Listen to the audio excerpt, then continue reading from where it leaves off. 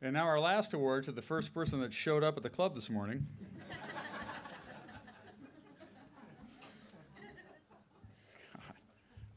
Terry Carlson was kind enough to give me his glasses, but they were so strong I would have had to like stand like this. Unbelievable. Thanks, Terry. I appreciate that. But man, oh man. Our last award is the highest honor that an Illinois PGA member can attain. Uh, presented annually since 1995 or 1955. There we go, Terry. I could use those glasses. This award honors the working club professional whose uh, total contribution should be the working professional whose total contributions to the game best exemplify the complete PGA professional. Special emphasis is placed on performance and achievement over the past five years, specifically in the following categories overall performance as a PGA professional at his or her facility or facilities, Joe Sharon, um, service to the Illinois PGA and the association, leadership ability, image, and ability to inspire fellow PGA professionals and promote the game of golf. Let's take a look at the video.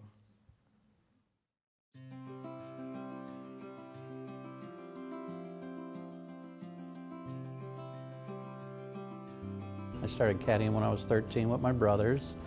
Uh, our parents got us into that. It helped us uh, support us through parochial school, which was uh, a great thing. And that's what got me into golf right off the get-go. Uh, played high school golf at Marian Catholic, had a great time doing that. When I got out of school, I had two interviews. One was at Ruth Lake with uh, Pat Dorgan, senior, uh, and the other was at Cantigny Golf with Bob Jacobs and Ray Koenig. When I got done with the interviews, I told my parents, I said, boy, I hope I get to go to Ruth Lake. That private club looks awesome. Well, as it ended up, Ruth Lake didn't leave an offer for me. Cantigny did, and it was the best choice I could have made. Uh, I started at Cantigny as an assistant, uh, seasonal. After one year, I was promoted and offered a full-time position. Uh, four years later, I was had the opportunity to be the head professional there in comes Terry Carlson into the picture, and Terry was the golf professional here at Glen Oak for uh, 16 years prior to me coming. I had breakfast with Terry Carlson in 1999 in the summertime. And he said he was looking to retire, but he wanted to stay active teaching with some of his members. And he asked if it'd be okay if he came out to uh, Cantigny with some, uh, some people to teach. And we talked about that and, and, agreed that that would be something that would be okay at the time. We didn't have a huge teaching program. We were still early, early on at Cantigny. Uh, and then he mentioned to me in passing when we were done, he goes, you know, you ought to think about going to somewhere like Glen Oak. You'd be good for the private end. And I kind of poo-pooed it. I said, thanks, Terry, but I'm happy where I'm at. Uh, got a young family. We love it here. It's, it's secure. And that was the end of that conversation. Well, then I got a call from Terry in November of 99. And Terry said, uh, Danny, you don't know if you heard or not, but I'm leaving Glen Oak. I'm heading out to Arizona. I left them your name as somebody that you should talk to. Uh, and I said, wow, Terry, that was nice of you. And that's again where it ended. I got a phone call from one of the board members here, from Bob Degnan, asking if I'd be interested in sending my resume. And once I got that phone call, I said, you know what, uh, out of courtesy to Terry, I'm going to do this. You know, he took the time to recommend me, and that meant a lot. Had no idea if they were considering me or not, but uh, it, thanks to Terry. If it wasn't for him, I wouldn't have even pursued it. Danny really treats the members like they're a part of his family, or he's a part of their family, if you will. Wants to build relationships, get get to know them on and off the golf course, um, and I, I think it's a real big reason why he's so successful. You create relationships, and that goes a long way. Coming to Glen Oak, having the relationships built with all the people that are here. Members come and go, so there is some of that, but to be able to build the relationships with the people that we've done is, uh, is more rewarding than any other part of the business. It really is. I have had the pleasure and the privilege of knowing Danny Mulhearn for over 20 years, and I can honestly say that I am a better person for it. I have gotten to interact with Danny when he's wearing a variety of hats, whether that is competitor or board member, committee member, committee chair, and maybe in his favorite role or roles as husband and father. And I can tell you that in any interaction I've ever had with Danny Mulhearn, he personifies and exemplifies the quote, if you can be anything in this world, be kind. Danny Mulhearn is a kind, genuine man with a calm, welcoming demeanor. In fact, one of my favorite Mulhearn stories is that Danny was hosting an Illinois PGA event in the early 2000s, and it was on the same day as his son's birthday. So instead of missing either event, they brought the birthday party to Glen Oak, and we celebrated his son's birthday in the second level of the Glen Oak Clubhouse. And Danny was so kind and warm to invite the Illinois PGA staff to be a part of his son's birthday celebration that day. And that's what Danny Mulhearn does. Danny invites you to the table, whatever family he's representing, whether it's his own family, his Illinois PGA family, or his Glen Oak family. If I didn't have the support of the family, I wouldn't be able to do what we do. It's, it's all careers are encompassing, if you will, but, but golf especially. Uh, but what I find greatest is I love going to work and I love going home. And I don't think there's many people that say that. It's kind of rare. Um, if it wasn't for Debbie and her support of the family, uh, I often wonder why the guys don't take the surname of the wives because they're the ones who keep the family together and they're the ones who, who really uh, are the glue to the family, and that's no exception for the Mulhearns. Um, but the family support is huge. Uh, the support of the membership supporting me and the family is just as huge. I'm able to be a father, be a husband, and be a golf professional at the same time. And it, it goes both ways between the family and, and Glen Oak. The girls uh, like to play and they're, they're maybe playing a little bit more now that they're done, but golf isn't cool early on for my daughters, but they love it now. Uh, the boys, again, they, they've been able to grow up around golf and, and the members have supported them in their endeavors and, and uh, have I passed on my skill? No, because they're both better than me at the skill side of it. Have I passed on some knowledge from experience? I hope so. And, and it's fun watching them play competitive. I think that's one of the reasons I still love to play so much is, is uh, chasing them.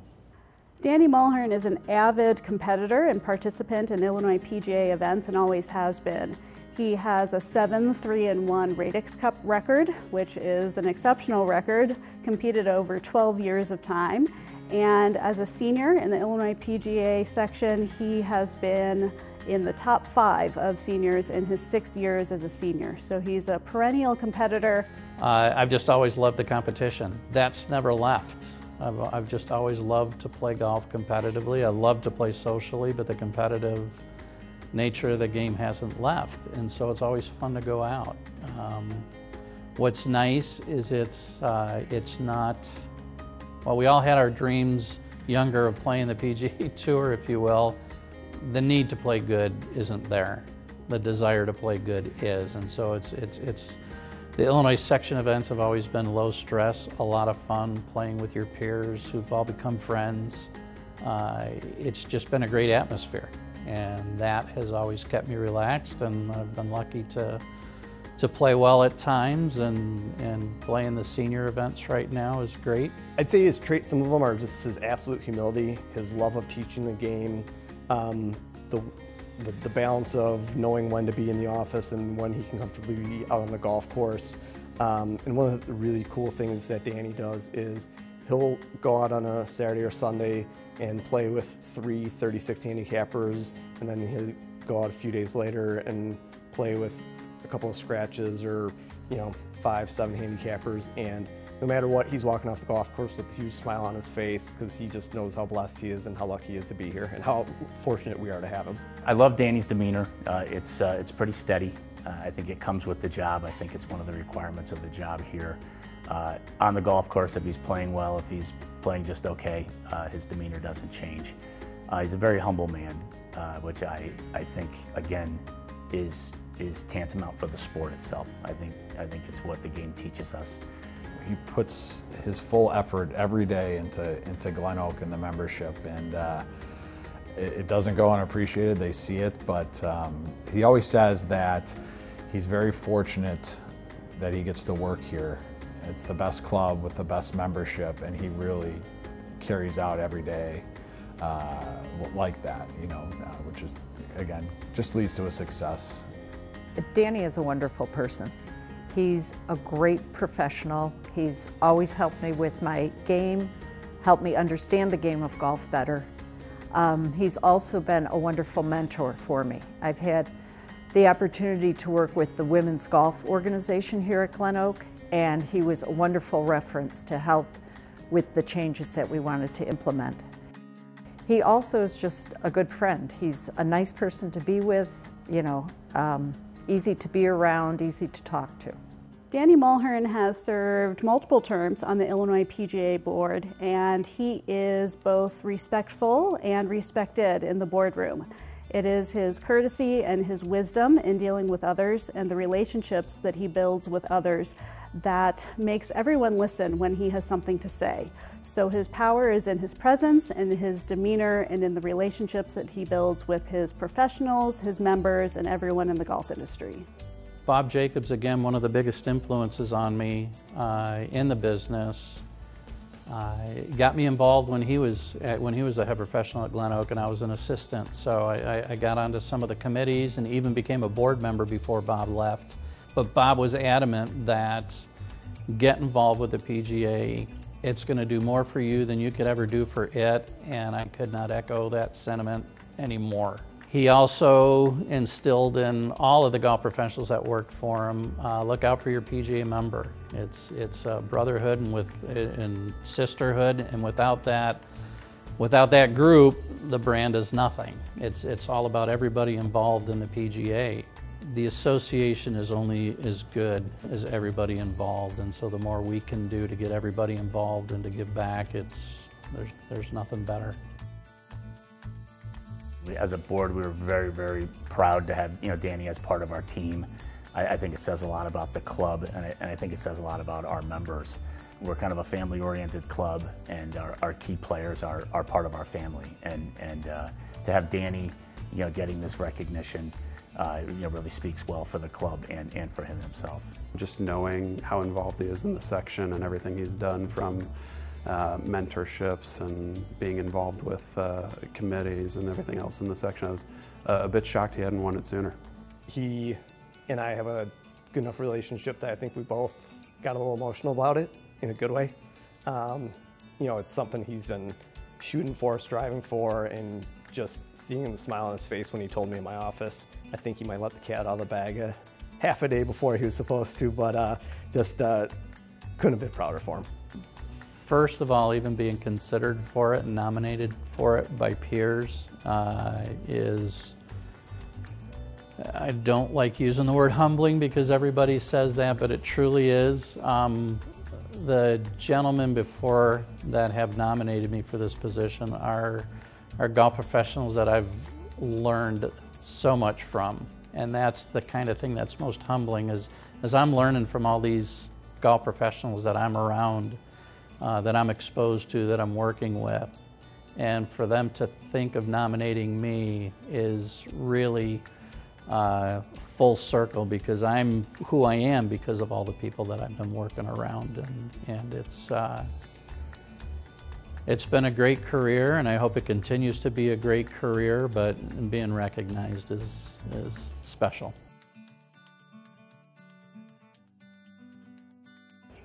Danny, congratulations on being named the Illinois PGA 2022 Golf Professional of the Year. I'm proud to be part of a section where the membership has elected you to a position of leadership.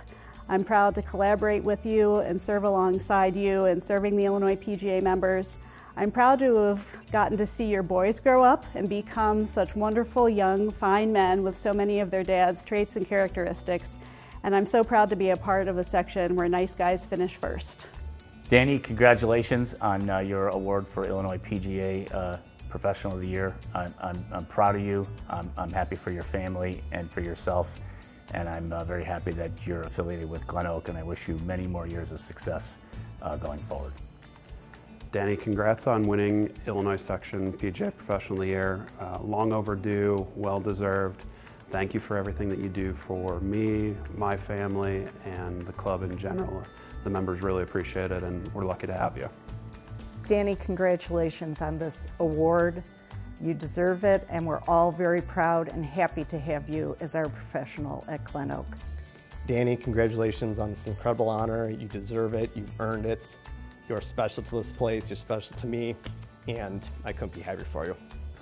Oh, Danny, I just I want to wish you congratulations on this great achievement. Um, you have done so much for our industry, our section, Glen Oak Country Club, uh, the employees that have uh, that currently work for you and that have left you. Um, you are a mentor to all of us. Uh, I'm extremely lucky to have worked with you. Um, how that's how you would put it uh, for the last 15 years. Um, but more importantly, I'm lucky to call you a friend. And what you have done for myself and my family, uh, words cannot describe. Enjoy your moment, uh, celebrate it with your friends, your family, uh, the membership here at Glen Oak, your, your fellow PJ professionals. Uh, you deserve every second of, of this year and being recognized as the professional of the year.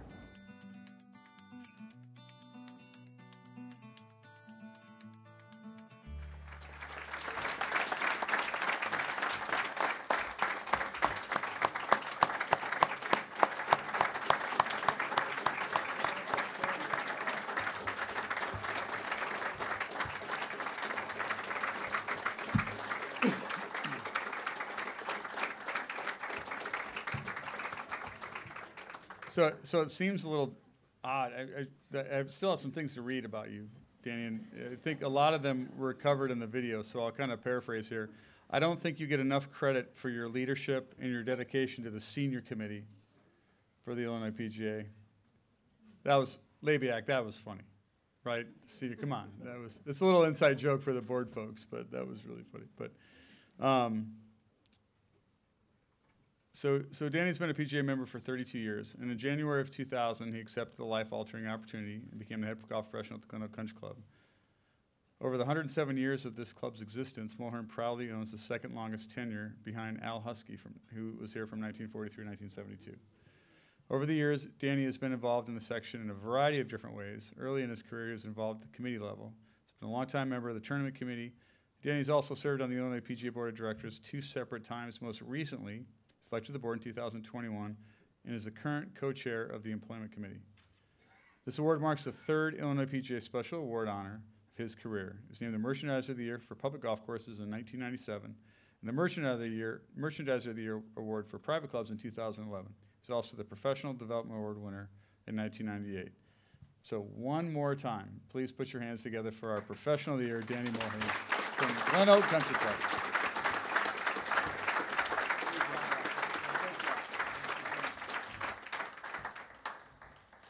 Wow, that was uh, quite surreal. Um, half of that takes away half my speech, so this is good news. You'll all be out of here quicker than you uh, anticipated. First of all, first off, uh, Nick, thank you for the nomination. I appreciate it a ton, along with Jamie. Um, sounds like you nominated a lot of the winners, so you struggle with public speaking a little bit. You might want to work on it because I think you're going to be uh, you're going to be up here again in the very near future. Thank you very much. Um, what was really cool tonight was seeing all the emotion from a lot of the presentations.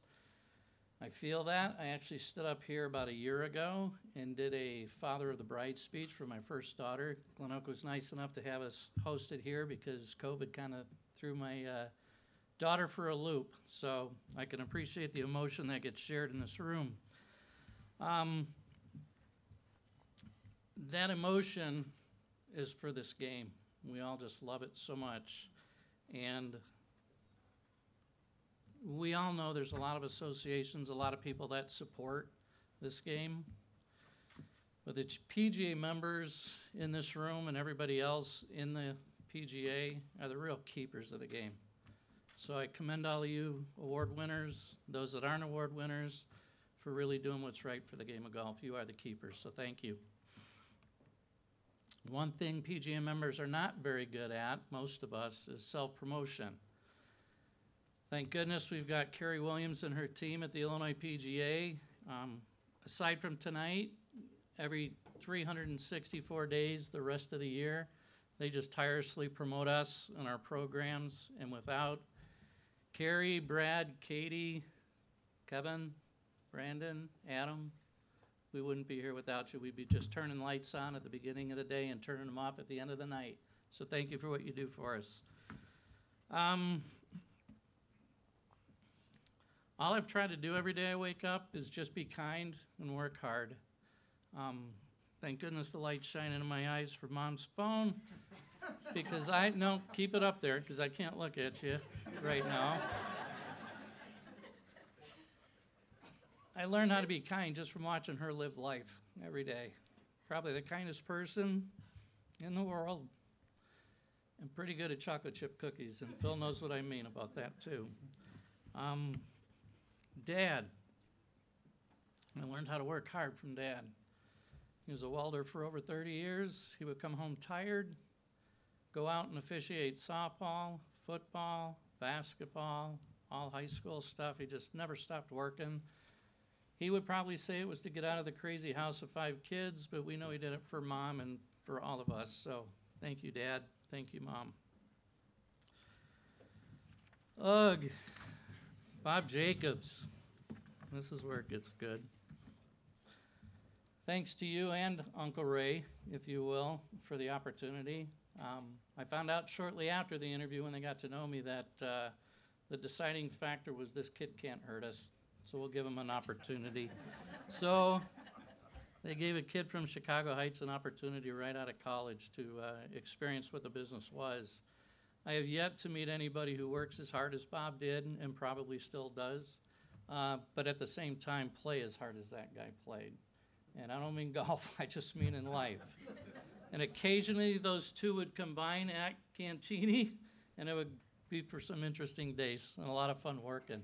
He made it fun to work, and that's all you can ask for is to enjoy what you do. Um, Bob entrusted me with everything including running to the gas station to pick him up some squeaks before we went and played golf. Talk about an. I'm a good old Catholic boy, went to parochial school forever until I went to college, and forgive the expression, I felt like I was buying a Playboy at 12 years old when I'm in there buying cigarettes. But, anyways, I digress. Bob's biggest impact on me was his um, genuine care for me in my path. He did everything he could to um, expose me to everything in the business. And um, in fact, I almost forgot. When Bob left uh, Cantigny to go to uh, Sand Creek, I think it was in 95, he encouraged uh, Cantigny to promote me. So he gave me the first opportunity to be a head professional.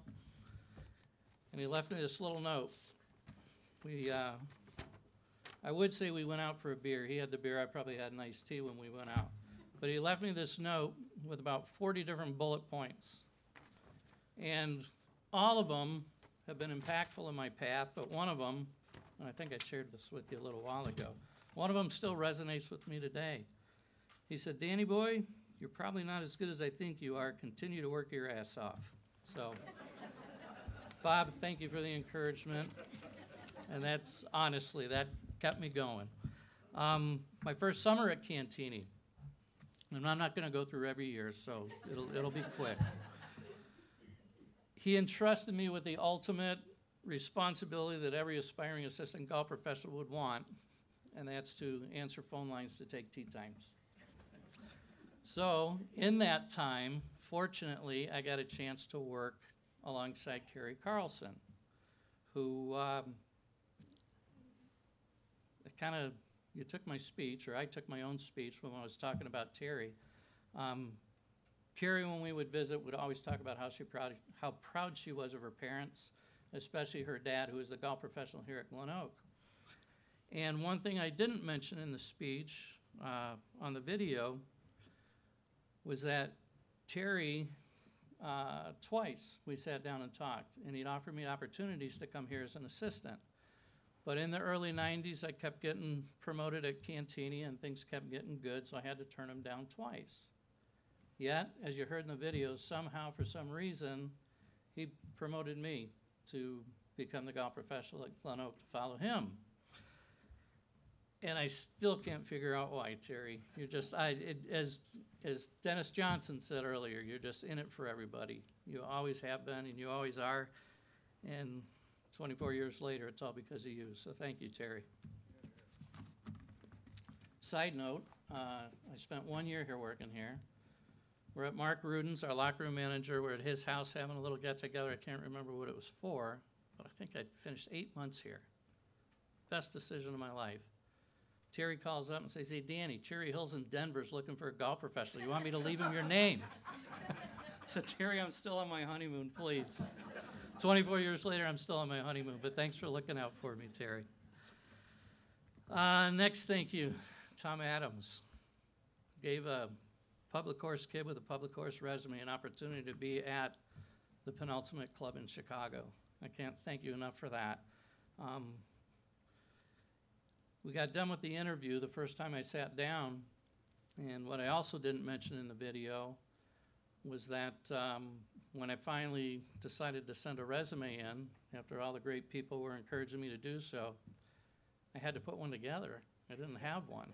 So I spent about 24 hours slapping a resume together, um, sent it to Glen Oak, got the interview, went home to Debbie afterwards, and I, honest, honest to goodness, I was doing it out of respect for Terry. That's the only reason I got into the process, because I was so happy at Cantigny with where I, where I was at. But I got home and I said, darling, the grass might be greener on the other side. and again, here we are 24 years later. It's definitely greener. As you saw in the video, how green the grass was here, it's like that every day. Thank you very much, Mr. Adams and Joanne, for coming out as well. Um, thank you, Sharon, Gerard. Thank you, Jody and Bernie, who couldn't be with us tonight. They're here representing the entire membership at Glen Oak. I'm sure Sharon was in the uh, 600 room earlier tonight visiting with Phil and Laura, asking them about their two little kids. And I'm sure she was telling them all stories about her grandbabies. Gerard introduces me as his friend as much as his pro when I meet new people. It's kind of the atmosphere that's fostered here at Glen Oak. Um, as a staff, as a team, we all know we're here to get them away from their real lives for a little while, hopefully four hours or less. But nonetheless, they have always treated us like family and like friends, and it makes it easy to go into work every day. Love going home, love coming to work. Again, it's, it's, it's hard to say that and mean it. So thank you very much, Sharon and G. Thank you very much, Jody. Appreciate everything you do and everything the membership does. And speaking of team, thank you, Jim Cardamone, our general manager. Thank you, Phil Udis, our director of instruction and player development. I think that's his fourth title he's had here. What Glen Oak's really good at is not letting good people go. We keep recreating. Phil keeps recreating himself. Phil's been with me for longer tenure than anybody. I don't think it's quite 12 years like Terry and uh, Gumby over there, but I think we're at 11 years right now. Maybe 12, I don't know, just flies by. Nonetheless, Phil, Phil has a crazy knack of developing relationships with five-year-olds, with teenagers. He coaches at Glenbard South, with uh, all of our members, with our senior members. He just has a crazy knack for having relationships with everybody. The penultimate professional, penultimate husband, penultimate father. I want to be like Phil when I grow up. Jim probably has the hardest task in all the industry. Not only does he have to listen to gripes from staff, occasional gripe from a member maybe, not in the room tonight, but there's probably a few outside the room he hears from. But he has to listen to all that, and he needs to keep his eyes looking forward. He's got a pretty darn big ship here that he steers, and he does it with such ease and such care for his team more than anybody. I'm grateful to be able to work for you, Jim. We keep this atmosphere here um, So humble, yet a ton of humor just the same. And just like working for Bob, I found another guy I work with that uh, just makes it fun to come into work. So thank you very much, Jim, and thank you, Phil. Thank you to my children. Thank you to Danielle, our oldest. She's our interior designer. Uh, Danielle, along with her husband, Captain Dan Clark, who's in the United States Air Force. And if you didn't catch that, I'm Danny. My daughter Danny married another Danny. Some say daddy issues, but she's a she is her own woman and she has grown up very well. Anyways, I digress once again. They couldn't be here tonight because they're back at Eglin Air Force Base finishing touches up on uh, giving us our first granddaughter in three weeks. So we miss her, but we can't wait to see her in a couple more weeks. Thank you, Brianna, or Wally, as she's so eloquently known as at home by me. Received her doctorate in physical therapy from St. Louis University. She's living down in St. Louis now, living her dream and thriving in her career. Thanks for coming up for dinner with the family tonight. Thank you to Benny, who graduated in during COVID. In fact, his graduation ceremony was in his bedroom while the commencement speech was going on. He graduated from Dayton University after giving up 13 years of hockey. He played it for a couple years in college and then realized, you know what, I don't ache as much after playing a round of golf as I do playing hockey. So he's turned into a phenomenal amateur player and look forward to watching you grow even more, Benny. Thank you, Zach. Zach's been referred to unfortunately as Mini Me, unfortunate for him, since he was able to walk. He was the only junior golfer that would wear slacks and put his glove in his belt instead of his pocket like his dad did. Zach's now living his dream playing Division One golf at Loyola of Chicago. We're lucky to have him back close to home. Can't wait to see how you continue in your career. It's, uh, it's a blast watching. Side note, we just found out um, I've had a decent opportunity playing in the Radix Cup. For those who don't know it, it's where the top 10 point winners from the professional side play against the top 10 amateurs. Um, I've been removed from that for a few years. I've become a much better sweater folder than I am a golfer these days. But Zach just got named to the amateur team for the Radix Cup this year and couldn't be more proud of him.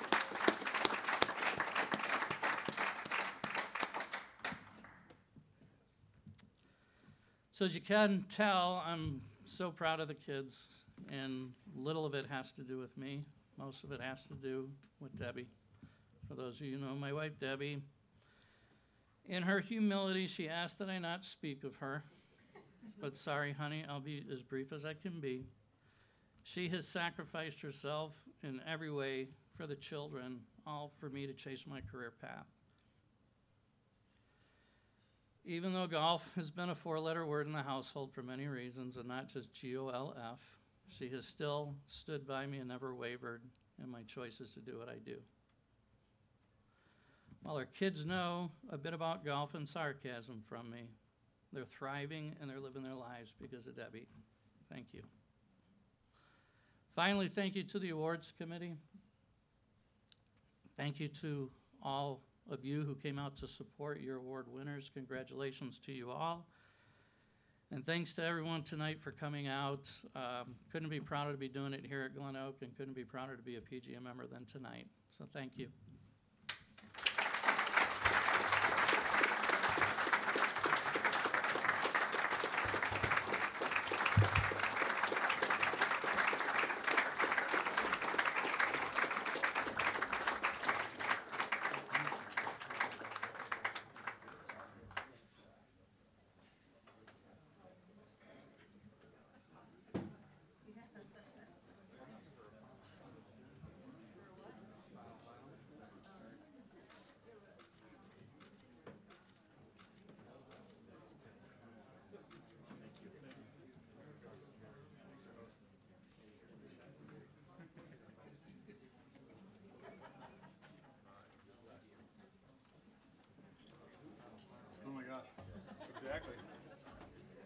Yeah.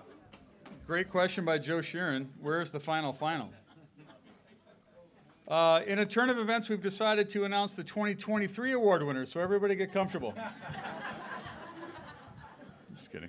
Uh, again, what a great night tonight. Thanks for uh, for everyone for being here. Congratulations to all of our award winners uh, and to your, all of you, uh, their family and friends. Uh, let's all just give all of our award winners one more final round of applause.